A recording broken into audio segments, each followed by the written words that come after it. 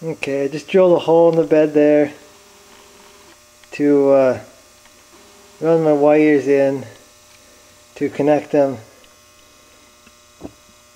to my bar there. And what I have here is I just have a piece of uh, like uh, vacuum line and I split it. I'm going to take some uh, some gasket maker and uh, or some silicone or something and I'm going to run it all the way around there then I'm going to stick this on there and uh, that way the, the wires won't get chafed. I don't have a, a grommet that big. Um, I'm sure they make them but I don't have it so this is what I'm going to do for that. I'll run my uh, right now all I got is my backup lights and my parking light wires. Uh, I gotta run my other wires for my strobes uh, next. Okay, got my uh, backup light and parking light wire through the hole. Um, got it just tested, stuck in the wire or the plug in there to test it out. Backup lights are on, parking lights on, everything's looking good so I'm gonna finish wiring these up the backup lights and then I'm gonna move on to the strobes now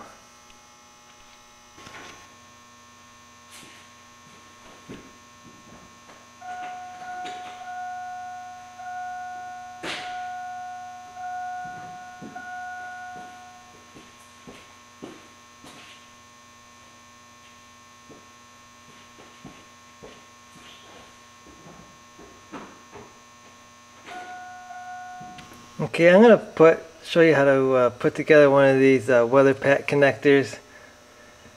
This is the one I got connected to my roll bar, and I actually found my little box, and I do I do have a a six one that I need.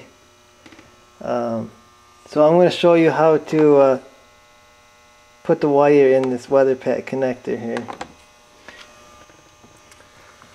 Okay, uh, first thing you're going to do is you're going to strip off um, the wire there, the end of the wire. Then you insert these little rubber things and that's actually what is going to seal up the connector um, along with this seal when it's plugged in. So that's what's going to seal it up. Okay, then you're going to grab your little metal connector there's a male and a female. Um, this one, uh, you can see I got uh, female ones in there right now, so I need to put the male one on this end. And uh, I don't think I can do this with just one hand, but you're going to take this and stick it on there like that and you're going to crimp this around the wire and then this one here you crimp that around your little your little rubber thing there your little seal. I'll show you when I get it done here. Okay when you're done crimping that on you end up with something like this. And then you're going to insert that. I gotta get the other one done and then you insert that into one of these just like this. I gotta figure out which one I'm going to. And that pushes in there and it locks locks in there. Then you close this up. Once I get all six of them in I'll close that up and I'll lock it in there and it's almost like a well it is like an OEM weather tight connection. Really nice deal. I need to get more of these because they're they're really nice. I think I got this kit on eBay. It just come with an assortment of stuff. So I'm going to finish up that other one. And uh,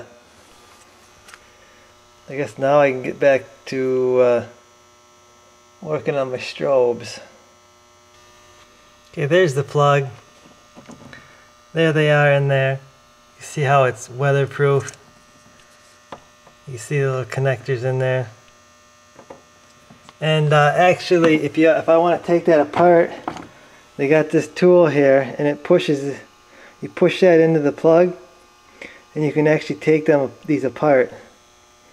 So it's pretty neat.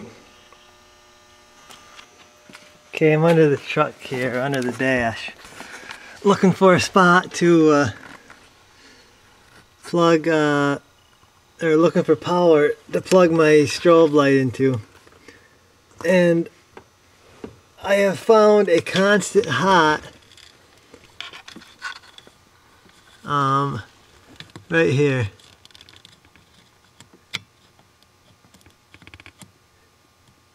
These, these two are both actually uh, constant hot.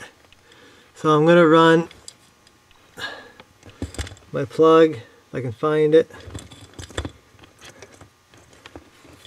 I just stuck a, just crimped one of these uh, things on.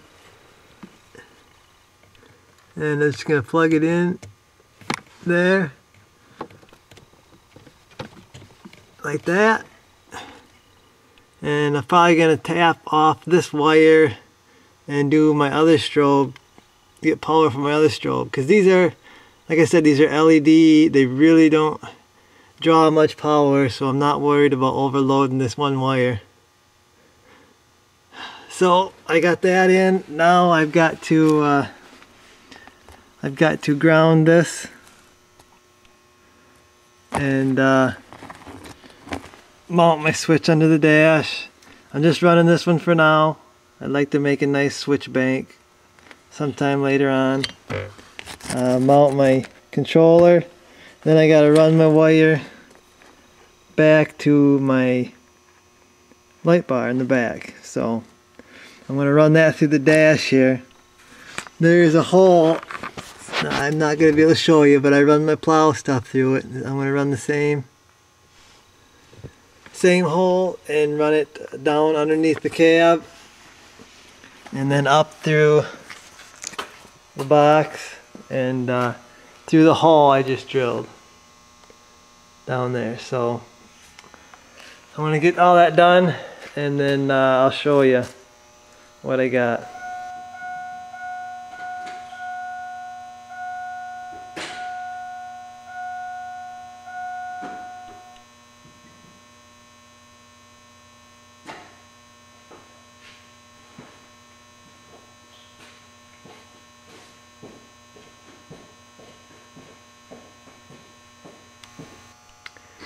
Okay, now that I know that all the the lights are working here, um, I don't have that uh, top one, the top strobe hooked up yet. I gotta run a few more wires, but uh, everything else is uh, looks like it's working good. So um, I'm going to button up all my wires. Um, I'm, I'm, out of, I'm out of time tonight, so gonna button everything up now, clean up, and uh, call it a night.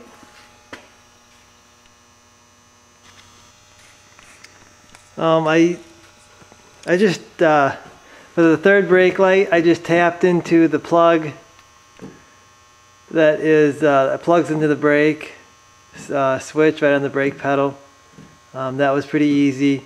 Uh, for a ground, I just there was a there's a bolt that holds uh, a dash support, and I just uh, grounded grounded everything to that. So um, not real hard. You know, wiring really isn't as difficult as uh, some people think it is. You know, you you uh, you know it's pretty much a power source and a ground it's, it's pretty, pretty simple.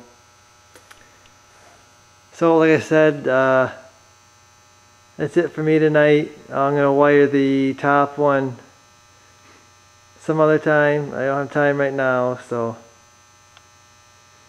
I guess I'll see you guys in the next one.